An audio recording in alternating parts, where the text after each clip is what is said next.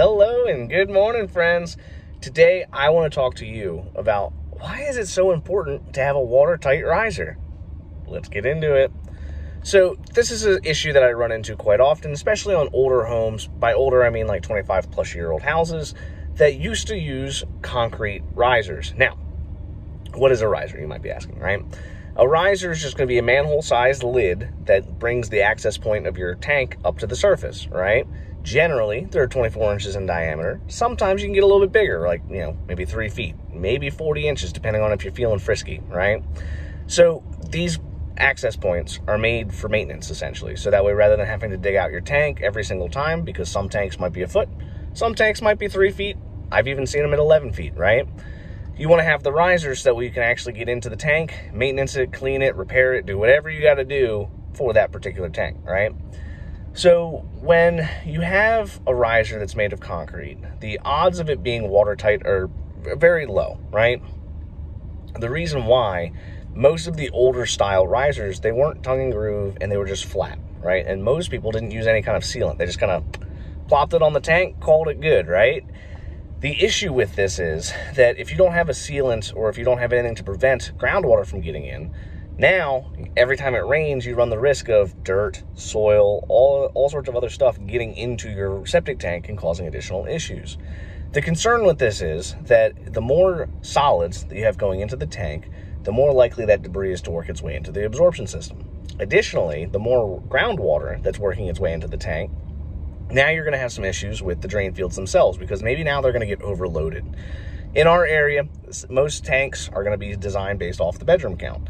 Every now and again, if it's an older house, somebody might have added a bedroom that's beyond the scope of its design spec, right? But for sake of argument, let's just say that we've got a, a three bedroom home. That means that in our area, it's designed for six people. Six people are assumed to use 450 gallons of water per day. Now, if you have an occupied home with four people and you have a leaking riser, if we get a couple good heavy rains back to back to back, you can overload those drain fields pretty quick. Or let's just say, for example, this happens quite a bit where somebody goes and puts the downspouts for their house directly over top the tank or the drain fields. That additional rainwater from the house's roof or from around the home, let's just say you got your sump pump discharging above your tank, all that additional water is going to go into the tank and cause additional stress on the drain fields. If you overstress the drain fields, if you overload them, oversaturate them, they are going to fail and they'll fail pretty quick. And at that point, they're very expensive to replace. So, the best way to tell if your riser's leaking is if you open it and you see dirt in the bottom of it, right? Dirt should not be getting into your tank or into the riser if the if the riser is actually watertight, right? Every now and again, you might run into some kind of issue where somebody smacks it with a mower or whatever, right? But if you open the lid, you see dirt, that's your first indicator. Sometimes on concrete, you might be able to see water staining going down the concrete, and that'll kind of let you know, like, hey, water's been seeping in here for quite a while. It might be time to get it fixed up, right? The concern with this, again, is overloading the septic. So, what do I recommend that you consider putting in? Again, we talked about old school concrete being flat. If you're going to use concrete, it is going to last far longer and it's way more durable. It's also more expensive. But if you're going to do concrete, you have to make sure that you get one that's got a tongue and groove so you can put some kind of sealant in that groove to prevent any water from getting in. The most common brand that I usually see and that I like is Polylock. Now, Polylock is a plastic that's going to be actually interlocking between itself. So generally, they'll be they'll be sold in you know six inch sections, twelve inch sections, and you just bolt them together, and then you build up to whatever height that you want.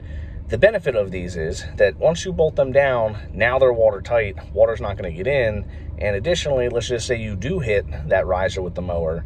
Now you just instead of replacing the entire section or the entire piece, you just dig down around that section, unbolt it, slap a new one in You've repaired that riser in less than an hour. No heavy equipment's needed at all, right?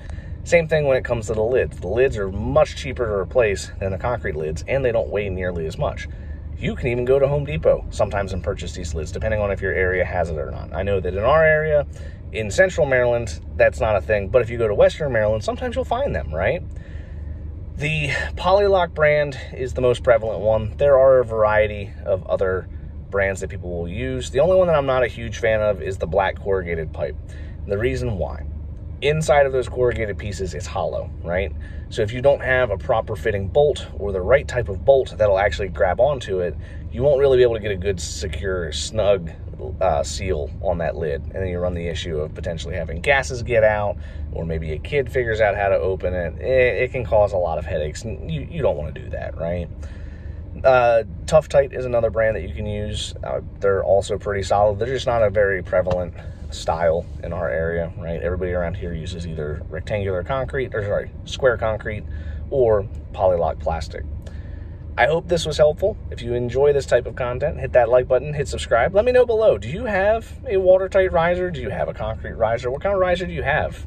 I think it's fun to see who does and who doesn't have risers. If you don't have one, they're a great idea to get installed. They're not that expensive, and even you can do it yourself. Till next time.